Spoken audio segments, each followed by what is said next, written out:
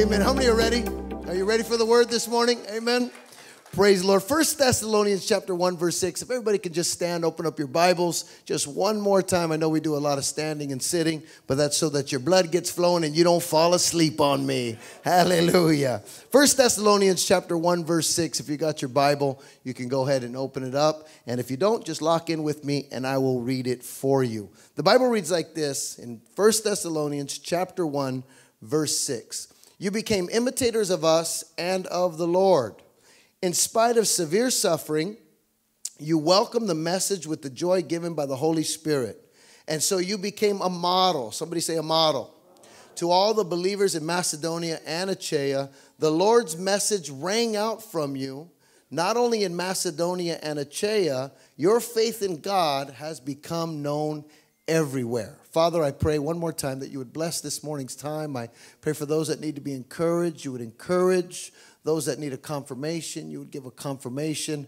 Those that just need a simple touch from you, that this morning would be a morning that you reveal yourself to the hearts of your people. In Jesus' name. And everybody together said, Amen. You could go ahead and be seated this morning.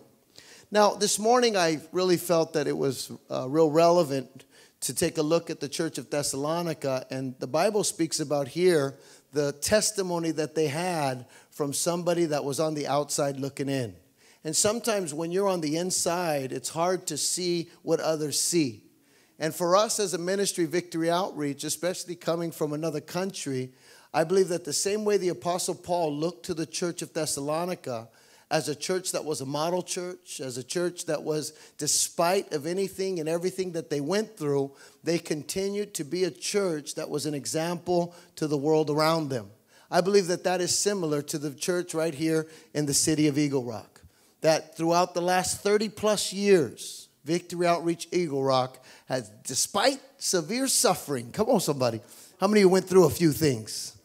Oh, some of you had a perfect roll. Hallelujah. I got to get a little closer to you. Come on, somebody. But how many know Christianity sometimes has its ups, its downs, and all arounds? How many have had their good times and their bad times? In South Africa, we sing a song Good times or bad times, happy or sad times. God deserves the glory. He deserves the praise. No matter the circumstance. How many know there is good times, but there's also bad times? Victory Outreach, Eagle Rock, the good times or the bad times has not taken you from being the church that God has called you to become. I want you to give yourself a round of applause. Praise the Lord.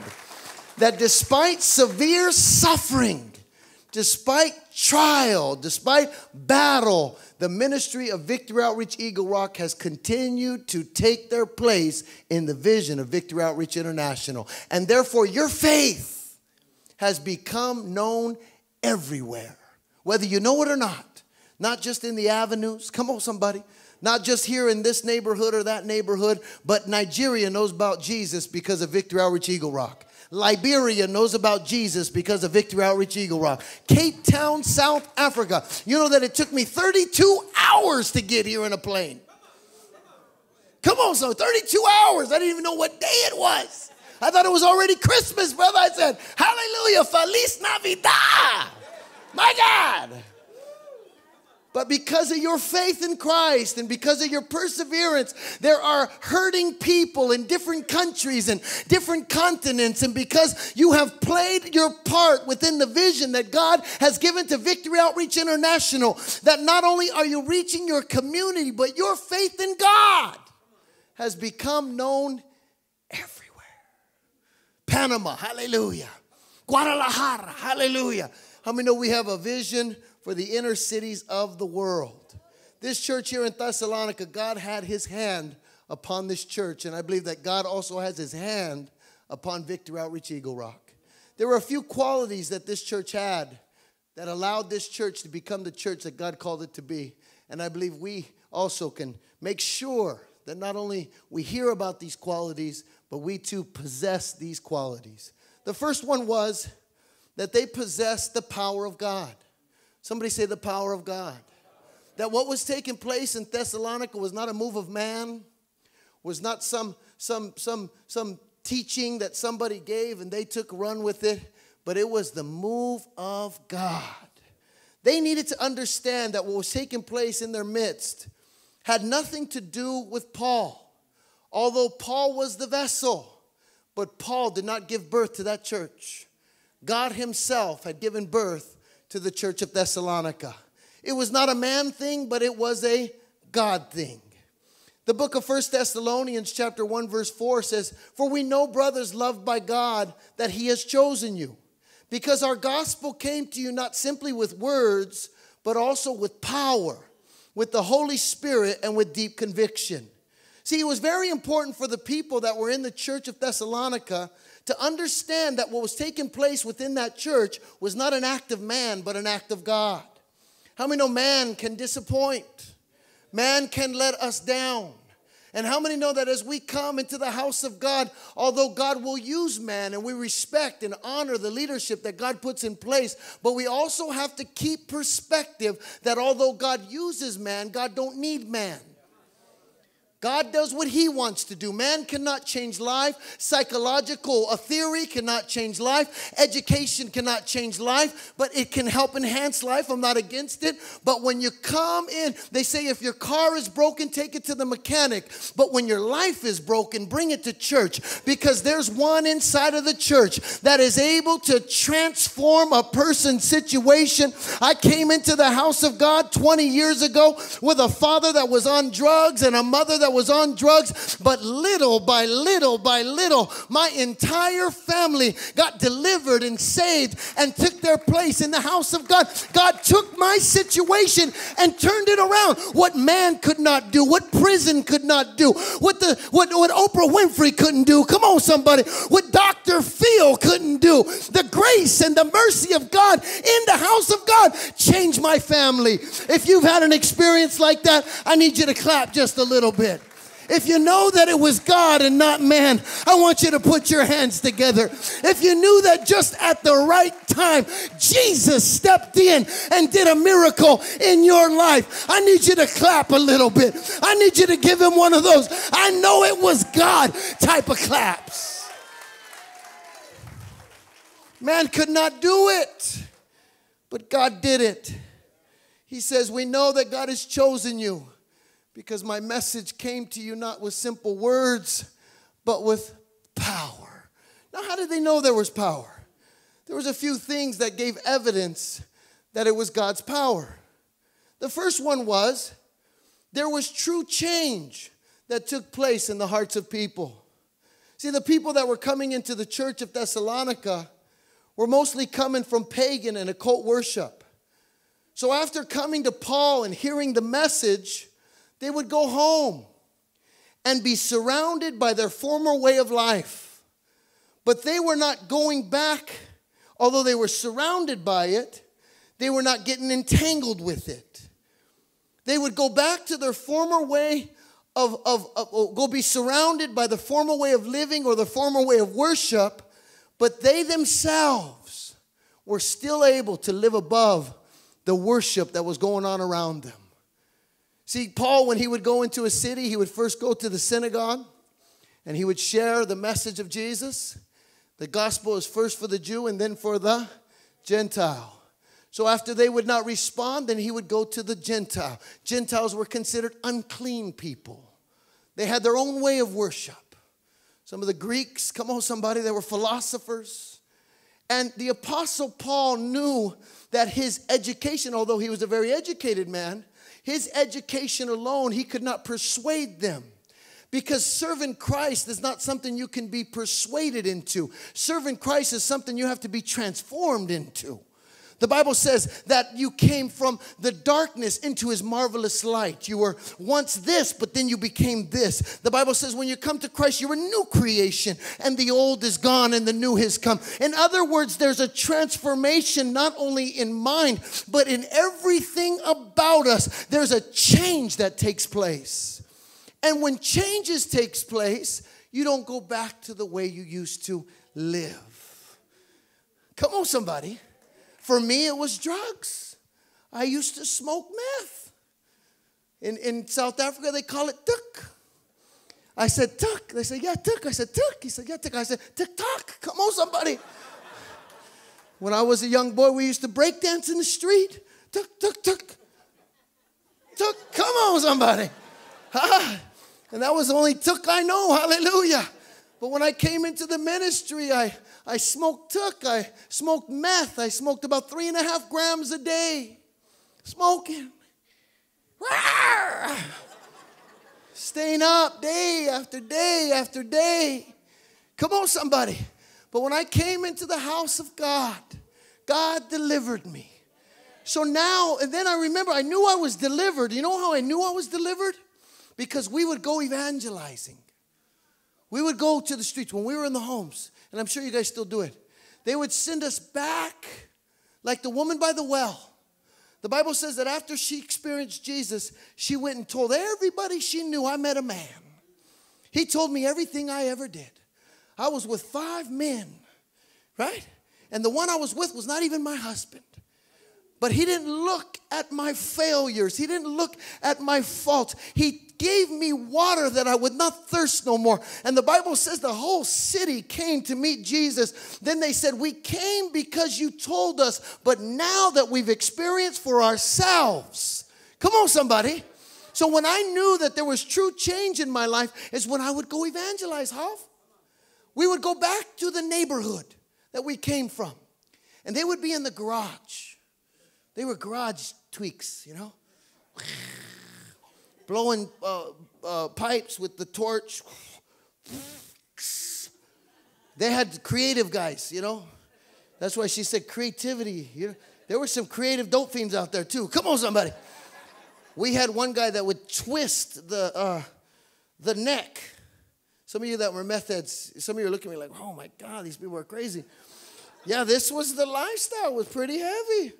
And, we, and they get pliers and they had a torch and they would twist this thing, and when it would dry, it had like little edges. And the idea was while I smoke, it'll get caught in the edges. So when I don't have anything, I could burn the neck. Come on, somebody.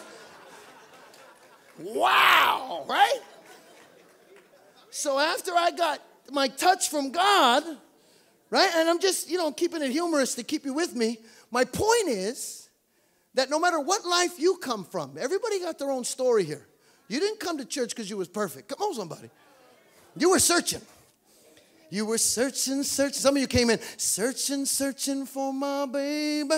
Yes, I am searching for my. Man. Come on, somebody. Huh? You were searching for something. There was some type of emptiness that was going on in your life. And you come to the house of God and you try to meet that need through this or try to meet that need through that, and you come to Jesus, and the way you know true change is taking place is when I would go back to the garage and I was witnessing, and there they were doing the things that I used to do. Smoking, and my heart was beating a thousand miles an hour, Pastor Augie. Oh my God, oh my God, oh my God. And then all of a sudden it was like, I don't even want this no more. So my heart stop beating so fast. And I started looking at them. I said, Look at me. You know me. The pipe you're smoking, I used to smoke. The things you're doing, I used to do, but I'm not doing it no more. And you're not gonna find that joy in that pipe. Look at my life has been changed. The lifestyle I was living, I was able to live above. Why? Because man's words will persuade you, but God's power will transform you. And so, therefore, I knew what I had experienced in the ministry of Victory Outreach was not a move of man, but it was a move of God. If you have been transformed by God, I need you to clap just a little bit. There was a true change for 20 years when we were in Indonesia. The, the, the Muslims, they, they don't play. You get high, they stone you, throw gasoline on you, and light you on fire. Yeah. You say, yo, America, you're very, you know, you're very, I don't care what you say about America. I don't care what wall they want to build or what, whatever is going on over here. You got it good. Come on, somebody. I don't care what's going on out there. You got to be careful because in some of these countries, some heavy stuff. So we would go under the bridge. They would be hiding under bridges. And there they would use heroin. And they'd be under there with candles, lighting spoons. And I would go under that bridge, and there was about 20 of them. And I started testifying to them. I said, listen, you know, I used to smoke, so now I'm in the same surrounding. How do you know you've been transformed? When you can go back to what you came from and it does affect you no more. It doesn't affect you no more. Even that depressing situation doesn't affect you anymore. You got joy unspeakable and full of glory. So even though the situation hasn't changed, something internally has changed. So you don't look at that situation no more. That son that's still running crazy, that husband that's still running crazy, it doesn't have an effect on you anymore because you've been transformed by the power of God. And so you got joy. And because that man didn't give it, that man can't take it. Because that situation didn't give it, that situation can't take it. Jesus gave it, and He will never take it away. How many got joy here this morning? How many got peace that nobody else can take away? The Bible calls it peace that surpasses all understanding. God did something in your life that no one can take away. We would go under that bridge and we would witness to them. And I would say, Listen. And I had a translator. And I would say, Listen. You're here, but you're tired. You don't want to use that drug no more. You don't want to be under this bridge no more. Come home with me. Muslims under that bridge would come and jump in the van with us. And then I would take them to the home and I would say, Listen, I know many of you have your own beliefs, but I want to let you know I was you. I may not have slammed heroin, but I still smoked meth. And the same devil that has you had me. And the only one that could set me free was Jesus. It was Jesus Christ that set me free. And I would say, and if you want that for your life, you need to give your life to Jesus. And Muslims were right there giving their life to Jesus. It's been 18 years now. There's still a victory outreach right there in the largest Muslim country in the world. Why? Because it was not a move of man, it was a move of God. They knew that what was taking place in Thessalonica was not a move of man, it was a move of God. So, therefore, as a model church, as a church that is making an impact where everybody in different parts of the world are hearing about, it has to be a church that is moving in the power of God. Man can persuade, but only God can transform. How many could say, Praise the Lord? The second thing that I see about this church is not only was it a church that possessed power, but secondly, it was a church that protected perseverance. Sorry, not protected, practiced. Practiced perseverance. How many know that it, it, it, just because you give your life to the Lord doesn't mean you're going to have a perfect life? Right? Don't set yourself up to get disappointed. The Bible says those in Christ Jesus shall suffer persecution. In other words, you're going to go through some stuff. Pastor Steve used to say, How do you know you're on the road to success? It's uphill all the way. He used to say, When push comes to shove, we'll see what you're made of. When times get tough, we'll see who you really are. The church of Thessalonica, despite severe suffering, practiced perseverance. How many are persevering people? That no matter how hard the devil hits, put, put, Hey, now, come on, somebody. How many know anyone can look good shadow boxing? Hallelujah. Come on, somebody. you put somebody in front of you, brother. Come on, somebody. Uh, some of you have taken some hits in life, in the Lord. Some of you got saved and went through some stuff.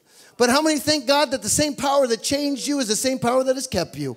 How many know you're still standing? Come on, somebody. You may not be perfect, but you're still here. You, you may not be, be where you want to be, but you thank God you're not where you used to be. How many thank God that He's not only a saving God, but He's a keeping God? If God be before me, then who can be against me? Greater is He who lives inside of me than He that is in this world. So, devil, no matter what you try to do, I got something inside of me that will protect me, that will keep me, that will keep keep me going forward.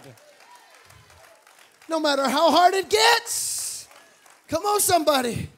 It's like the Apostle Paul, he says uh, that he pleaded with the Lord three times Take this thorn from me. He says, I was getting these great revelations. I was given to me a messenger of Satan, a thorn in my flesh. You read it, right? Some of you looking at me like, what? My point is, he said his first uh, uh, communion with the Lord was, Take it from me. But he says, Then God spoke to me. He says, When you're weak, then you're strong. My grace is sufficient for you. So the Apostle Paul stopped asking for God to take it away. He says, Therefore, I boast all the more. When I'm going through difficult time, I get more joyful. When I'm going through hard times, I get because I realize it's when I'm weak that I'm strong. When you're in your darkest moments, it's when God is right there and the closest to you. So therefore, out of maturity, he didn't ask for God to take it away no more. He said, Bring it on. Come on, somebody. How many are knowing that the grace of God is sufficient for our lives? And I'm not saying that you're going to be always in a trial. If you're always in a trial, then something else is wrong.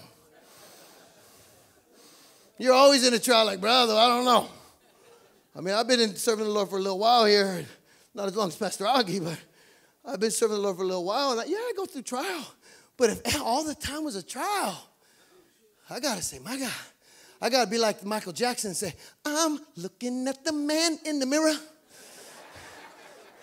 I gotta start looking at why am I always in trials? Why is everyone else in victory and I'm still in trial? There's probably something that God wants to deal with within my life. So He's allowed me to go through a little season. But even though when He allows seasons, His grace is sufficient. Even when we go through certain times, serving the Lord, I would say 80%. Blessed. Blessed. 80%, maybe 70. Come on, somebody. You know, when we preach, sometimes we exaggerate a little bit. Come on, somebody. Uh, forgive us, Lord. Hallelujah. My point is, not every season's a trial. Most of my seasons have been, even in Indonesia, in the largest Muslim country, I met my wife in Indonesia. Beautiful wife. I got me a good wife. Come on, someone. You can't find one of these in the video. Come on, somebody. You got to go all the way and risk your life type of wife. Come on, somebody. You got to lay your life on the line type of wife. Hallelujah. So, in the midst of turmoil, I found my wife. In the midst of turmoil, I was given two beautiful little kids. So, my even in the midst of madness, God is still good to us. How many know that God is a faithful God? And so, therefore, my point is all of Christianity is not a trial, but you will have to practice perseverance at certain times. You will. God's power will transform you right? So you don't get entangled in the things that you used to do. But when you're serving the Lord, there's also times. Hey, come on. Come on, somebody. Don't get all crazy. In your prayer closet, some of you are like that. You?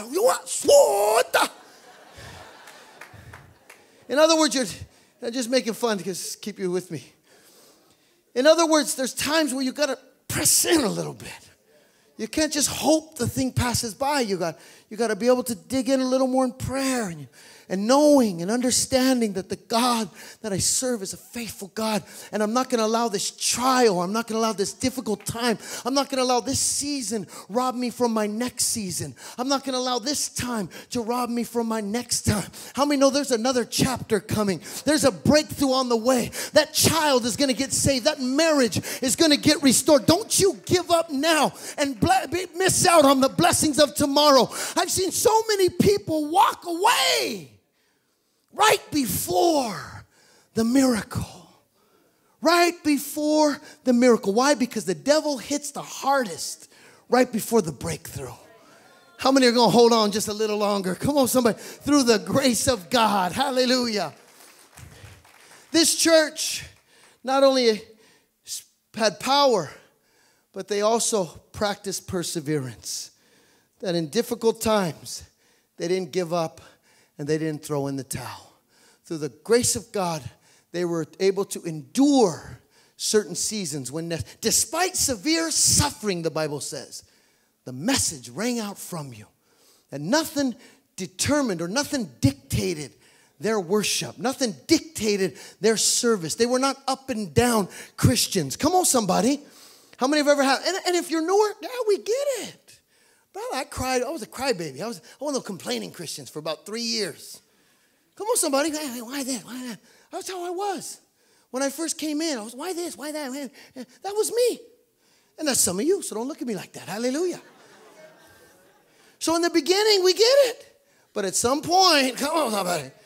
At some point, you got to shift. Hallelujah. And there's got to be a new level of maturity. I mean, when the baby cries, uh, Juliet, when she cries, it's so cute, right? They have like a weird cry, right? But when she's 14 and she still cries like that, it's not cute no more. Changing the first diaper is like, wow, this is my baby. Look at the poo poo. It's so cute. Come on, somebody. But if that baby's five years old, still wearing a diaper, something's not right. Same in the spirit. As you're growing in the Lord, the things that used to get you down don't get you down anymore. The things that used to discourage you don't discourage you no more because you have a new understanding that the God that is with me will never leave me nor forsake me. There's a new level of maturity that begins to take place, and they learn to practice perseverance. My third point, and I close with this. Some of you say, close with anything. Hallelujah. Is that not only did they possess power, Secondly, not only did they practice perseverance, but thirdly, they protected their pursuit. See, there's a difference between a believer and a pursuer. In the, in, in the Acts, there was no difference. The believer was a pursuer. But I think throughout the years, the definition of believer has gotten a little watered down. I think that we've got a little, you know, as long as I'm comfortable over here. Come on, I'm, I'm going to step on some toes, that all right? I know it's that Sunday morning, like, oh, brother, don't go there. Hallelujah. But sometimes we can get a little comfortable in our Christianity. And there's no longer that pursuing of God's presence, pursuing that hunger, that urgency, that sense of Jesus can come back at any time. The book of Acts never lost their pursuit because their belief was Jesus can come back anytime. But nowadays, it's like Peter. They say, You've been saying Jesus is going to come back for a long time. But the book of Peter says, God is not a God that he shall lie, but he's patient, not wanting none to perish. I don't know about you, but I thank God Jesus didn't come back in 1998. Come on, somebody. Let me bring it home a little bit. This is a whole different message. I don't know what I'm talking about right now. I think the comfort comes to the body because we lose perspective in the truth. Just because Jesus hasn't come back doesn't mean he's not coming back. The book of Peter prophesies to us that many will say, you know, you guys been saying Jesus is going to come back for a long time. But where's he at? And then Peter answers, he says, God is not a God that he shall lie.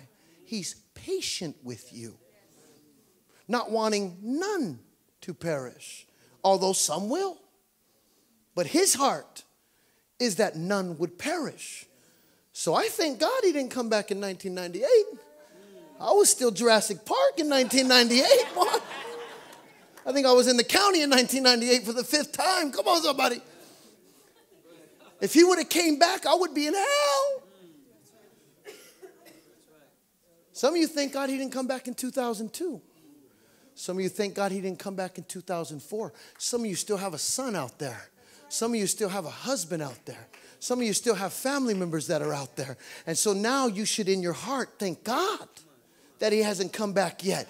And the reason he hasn't come back is because he's waiting for that son. Is because he's waiting for that. He's like the father waiting for the prodigal son. He's standing on the door and he's ready to come back and he's looking into the future. He's looking prophetically at people's families making it into the house of God. But just at the right time, Jesus will come back like a twinkling in the eye, and he will come with that sound of a trumpet, and he will live. That needs to be the urgency.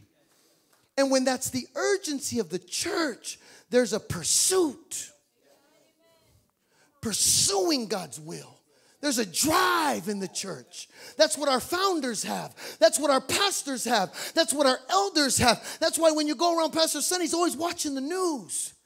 He's looking for Daniel to come to pass. He's looking for that horn to rise. He's looking for that leader that's going to come, that, that, that, that antichrist type of spirit to come. Why? Because there's a spirit of urgency in his heart. So therefore, he's planting churches. He's building bases. He's going to Panama. And he says, if Jesus is patient, not wanting none to perish, I need to do my job while I'm still here on planet Earth. That needs to be the conviction of the church. But sometimes we get a little comfortable. But the church of Thessalonica was a church that possessed power, practiced perseverance, and never got comfortable, protected their pursuit. And I believe a pursuing church, and I close with this musicians can make their way. I did pretty good on time, huh? I'm getting good at this. Hallelujah. You know, we got three services in Cape Town. The first one's an hour and 15 minutes, Pastor Augie. They try to not get me to preach there because I blow it every time. Hallelujah. Come on, somebody. Possess power. You got power. That's why you're not the same person you used to be. When you look in the mirror, right? Do you like who you see? And if you don't, you need this altar call because you are beautifully created in God's image. You're, and if you can't see that, you need new breakthrough in your life. I thank God when I was in those motels, man, I'd be looking at myself. I look bad, boy. I look like I got socked in the nose. I had big black eye. Come on, somebody. And I remember hating who I seen. I remember just dodging the mirror. But when God got a hold of my life, Sometimes I take a little too long, Pastor Augie. Come on. I say, boy, you, not only is, am I lucky with Chica, but Chica's lucky with me. Come on, mama. and you may not think that, but God has given me a love for myself. I can love myself again because I'm not the person I used to be. I've been transformed by the power of God. But is this life easy? No. Is there going to be downtimes? Yes. So not only has power transformed me, but power helps me persevere. I could take a hit. Boom. In the spirit. I've learned to I've learned to shake off the feelings. I've learned to walk by faith and not by sight. I've learned to trust when it didn't look like it was going to happen. I learned to trust when I had no idea how God was going to come through but I knew that He was faithful, and therefore I would persevere and trust. And now I'm still trying to protect my pursuit.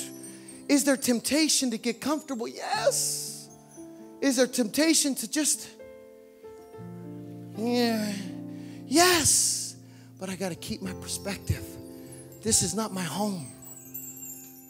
Earth is not my home. Heaven is my home. And so, therefore, like the Apostle Paul, I will try to apprehend that which has apprehended me. I will live a pursuing life with a freshness in my heart. And I believe the pursuit of a Christian is the result of their surrender. When a person is surrendered, I want to sing that song. I surrender all. You guys can make your way. Hallelujah. How many appreciate this beautiful music team? Come on. And they come a long way since the last time I was here. The miracle, hallelujah. See, there's a difference in your walk with God of submission and surrender. I believe this is a new transition for shift, if you will. When you shift from a submitted Christian to a surrendered Christian. Because submission will keep you in the game. But there's another level past submission. The Bible says, submit to God and resist the devil. Right? And what will happen? He'll flee. Persevere. Submit. But after he flees, draw near to God, and he will draw near to you. I believe that Jesus went into the garden submitted to God. 100% man, 100% God. I believe the 100% God, of course, he, he was already surrendered. He was God. But the human side, how many know we all got a sinful nature? Come on, somebody. The Bible says we have two natures spiritual man and the sinful man. Eh? And they're in battle with each other. And when Jesus went into the garden, his human side was submitted to God. Then he started praying for three different times for an hour at a time. He says, God, if you can take this cup from me, submit it to God. But then his prayer began to transition. But nevertheless, not my will, but your will be done. He went into the garden submitted, but he carried the cross surrendered. Oh my God. He went into the garden submitted. Some of you showed up this morning submitted. Your victory over the devil and over the attacks and over the different things you go through are not just in your submission, but are in your surrender. I surrender all not my will, but your will be. It's no longer I who live, but it's Christ who lives in me. When you can shift into this new dimension, then, my friend, there is a consistency in the joy that you have. There's a consistency in the peace that you have because you are a surrendered vessel in the hands of God. And the Bible says, if any man or woman shall be cleansed of the latter, they will be a vessel, perfect and useful in my hand. I believe God is raising up Victory Outreach Eagle Rock to be a vessel in His hand, perfect and useful for every great work. If you believe it, I need you to clap just a little bit. I surrender, I surrender, I surrender my life, oh God. I want you to stand to your feet. They possess power, they practice perseverance, and they protected their pursuit. Their pursuit of God and His will for their life. I'm not sure where you're at this morning. Maybe you need an experience with His power. Maybe you still struggle. When you leave here, you go back and you struggle to have victory. You struggle to overcome. God wants to release His power over your life this morning. Maybe you're struggling in your perseverance. Maybe you're going through some trials right now, going through a little bit of a difficult time. Same power that changed you is the same power that will keep you. And maybe you've gotten a little comfortable this morning. Maybe you've gotten a little laid back in your walk with God. God wants to stir up that gift. God wants to stir up that pursuit. If that's you, you say, you know what? God spoke to me this morning. I want to get in that altar this morning. Lift up your hand if that's you all over this place. Lift up your hand, lift up your hand and show me and say, That's me. God spoke to me this morning. I, want you to pray for me this morning. Lift up your hand nice and high so I can see it. God bless you. God bless you. God bless you. God bless you. God bless you. God bless you. God bless you. God bless you. God bless you. Listen, if you've lifted up your hand, I want you to take a second step as we sing this song. I want you to slip out of that seat and I want you to make your way into this altar. Come on. Even when I don't see it, you're working. Even when come I don't come all over this place. You're working. You never stop.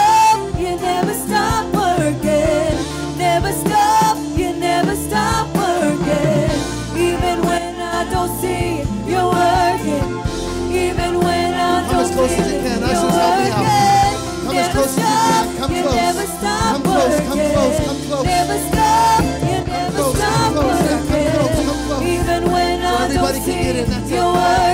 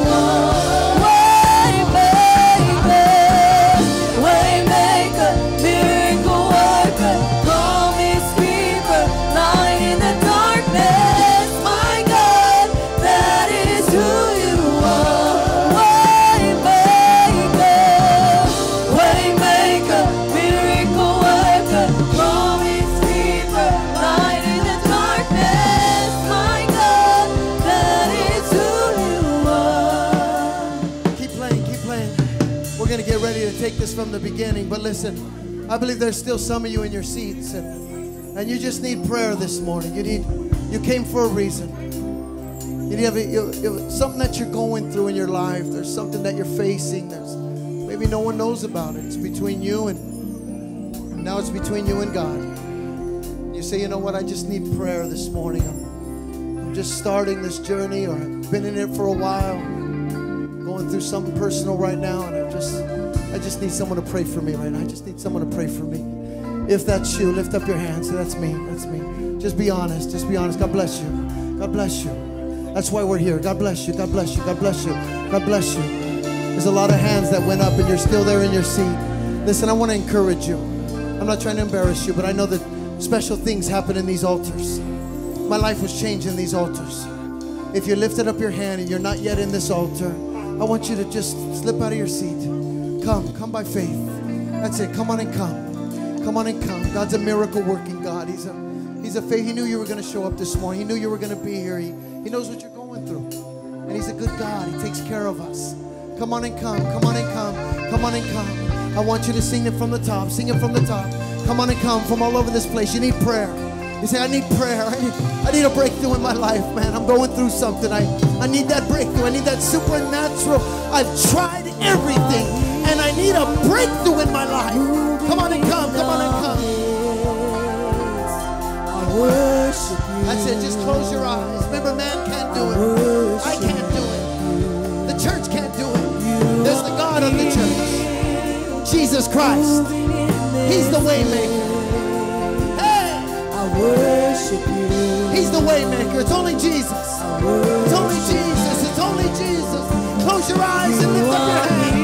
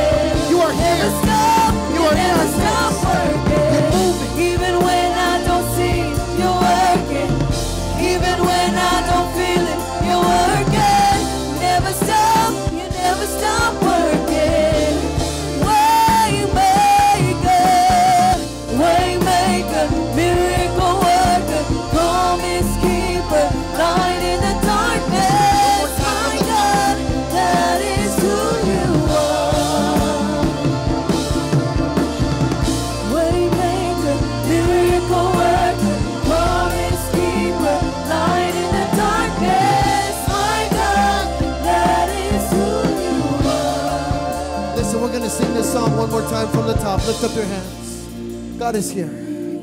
It's not nothing a man can do. It's, it's a personal touch from Jesus. Man didn't change me. Jesus changed me. Man didn't keep me. Jesus has kept me. Hallelujah. Come on, lift up your hands. That's it. Just take a few more moments. God, I worship you. I worship you. I worship you. You are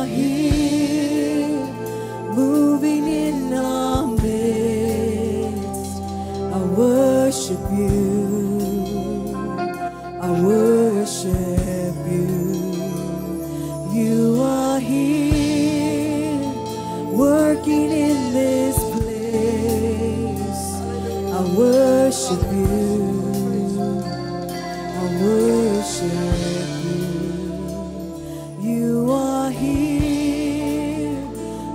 Moving in our midst. I worship you. I worship you. Come on, lift up your hands. God is here. You are here, working in Father, in the name of Jesus, I pray for miracles. place. I pray you would release your power in a way that they know it's you. They know it's you. They know it's you. It's only, it's only you. You are You're the promise keeper. You do things that no one else can do. You make things happen. You orchestrate things. You deliver us. You deliver our mind. You deliver our heart. You, you give us a new life. You're a good God. You're a faithful God. Oh, I worship you. Come on, lift up your hands and sing it. Come on, sing it. Sing Waymaker. So we call you Waymaker,